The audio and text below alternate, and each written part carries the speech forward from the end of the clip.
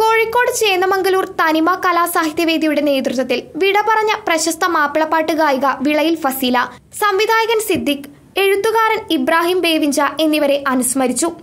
ചേന്നമംഗലൂർ വിദ്യാർത്ഥി ഭവനിൽ വെച്ചാണ് സ്മൃതിയരങ്ങ് എന്ന പേരിൽ പരിപാടി സംഘടിപ്പിച്ചത്.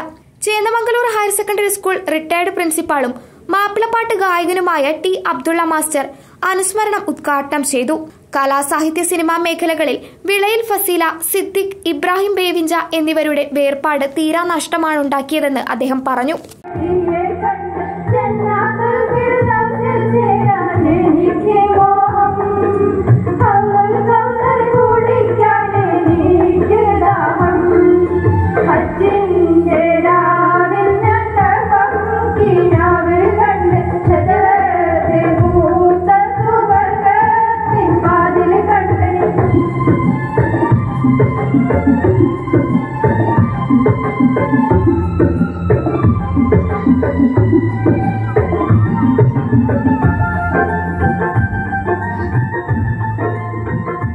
തനിമ കലാസാഹിത്യവേദി ജില്ലാ committee vice president Naseeba teacher അധ്യക്ഷയായി.